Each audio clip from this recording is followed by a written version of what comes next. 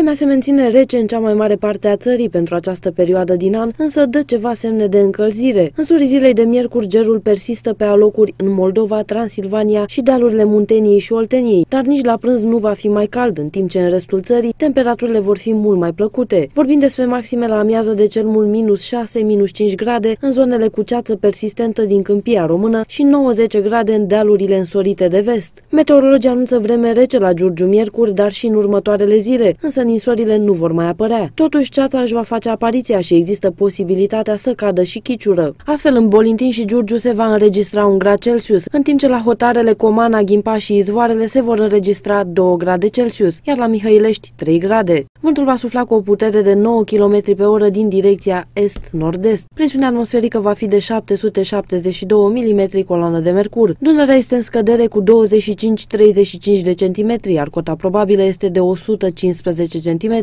Umiditatea aerului va fi de 68%.